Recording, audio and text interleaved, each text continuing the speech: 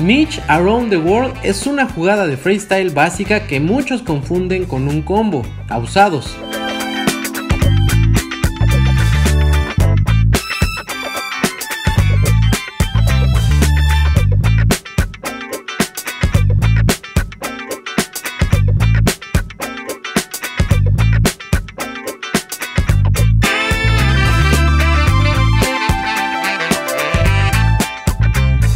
Paso 1.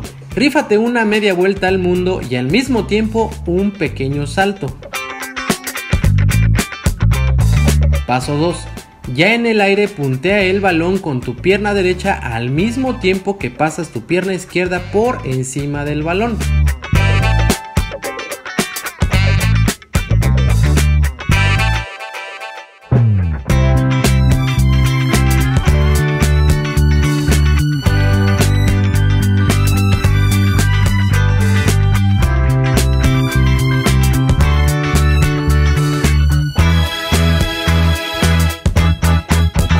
El resultado es la unión de una ATW hacia adentro más un crossover, pero al mismo tiempo.